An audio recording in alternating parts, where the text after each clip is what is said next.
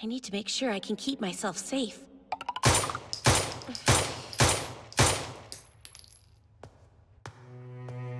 Killing a fellow human makes you a murderer.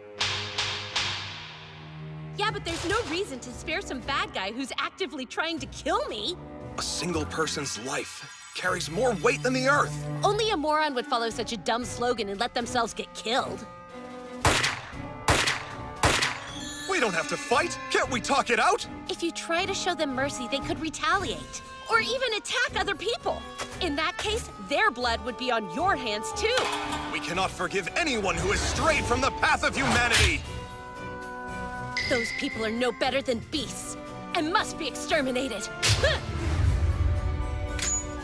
Prepare yourselves! I will strike you all down!